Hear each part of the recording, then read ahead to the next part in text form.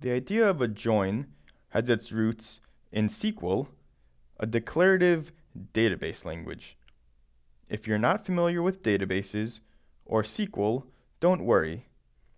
If you are, however, hopefully you can make some connections to previous concepts you are familiar with.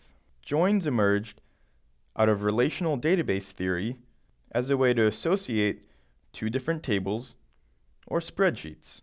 Now to understand what a join is, imagine we have two tables, or in this case you can think of them as CSVs or TSVs, where in the first table, in this case the employee table, each row represents an employee's last name and the department ID which they are employee in. So in the case of the first row, employee Rafferty works in department 31, Jones works in department 33, and so forth.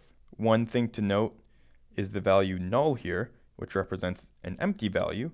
So let's just say that John doesn't work for any specific one department. These tables are example tables from the Wikipedia article on joins, which explains all of the concepts I'm going to go over in much more depth. A join can be thought of as a union of two different tables, combined in some way, such that it makes sense. Now the most natural way to join these tables might be on the common column, in this case department ID, that they both have. So to join these two tables, we would simply go down each row in the first, and for that department ID, match it to the equivalent department ID in the department table. And we would do the same for every row.